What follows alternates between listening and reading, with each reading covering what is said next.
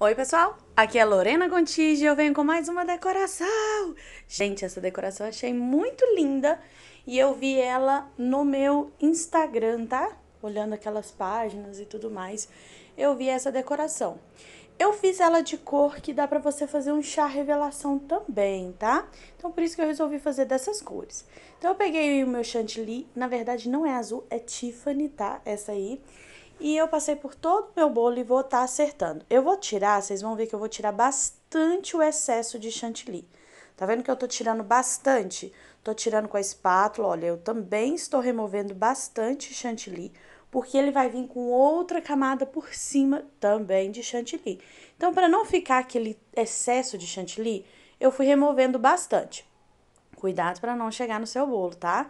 Mas então eu fui tirando aí, deixando ele o mais lisinho por si, é possível, tá? Passei o meu chantilly por todo o meu bolo.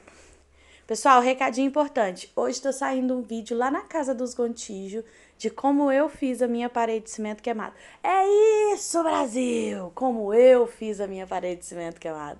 Eu mesma que fiz.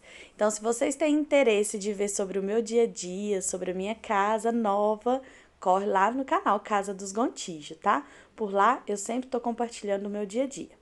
Agora com o chantilly aí já lisinho, eu vou vir com um bico perlê e vou estar tá passando bem aleatoriamente por todo o meu bolo. E sim, é uma camadinha grossa com o chantilly é, de outra cor, né, que você deseja. No caso, eu tô usando rosa para ficar bem destacado para vocês verem bem direitinho como que fica esse bolo, esse, esse detalhe desse bolo. Eu fiz um teste, tá, gente, de passar a espátula com bem pouquinho assim chantilly e eu vi que não fica bacana, tá? Então, o que você tem que fazer para sair esse bolo legal? Você tem que fazer a parte de baixo certinha, inteira, tá? A parte de baixo toda inteira com chantilly e a quina de cima também toda inteira de chantilly. O resto pode ficar meio que vazado, tá? Que vai ficar bonito. Mas a parte de baixo e a parte de cima tem que ter sim o chantilly para você conseguir grudar a sua espátula, né? passar a espátula e conseguir fazer tanto as quinas quanto fazer o acabamento bacana embaixo, tá?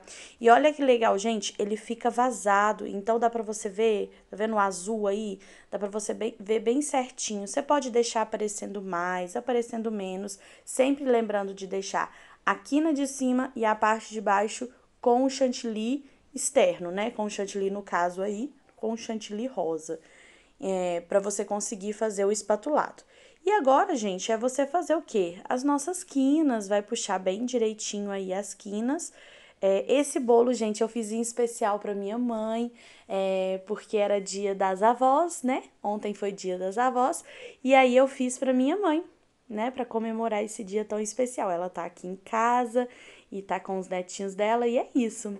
Coloquei ele perolado porque é perolado é a cara da minha mãe, deixar as coisas peroladas com brilho. Minha mãe ama brilho perolado e ela ficou simplesmente apaixonada com esse com a forma que foi feito esse. Ela falou: "Lorena, mas é muito legal, a gente consegue ver lá no fundo e tudo mais". Eu também gostei bastante. Coloquei umas pérolas e lá do Surpresa em Arte, eu também pedi ela para fazer umas fadinhas. Então eu coloquei elas aí na parte de cima do bolo. E olha que delicadeza que ficou essas entradas do bolo com as borboletas. Enfim, gente, olha que coisa mais linda que ficou esse topper e esse bolo. E agora eu vou deixar umas fotinhas da nossa festinha que teve aqui, ó. Minha sobrinha tá aqui, tá o Yuri, Yasmin, meu pai, minha mãe, todo mundo feliz no tema da borboleta. Eu espero muito que vocês tenham gostado. Se você gostou, compartilha e curte o nosso vídeo, tá? Um beijo e até o próximo vídeo. Tchau!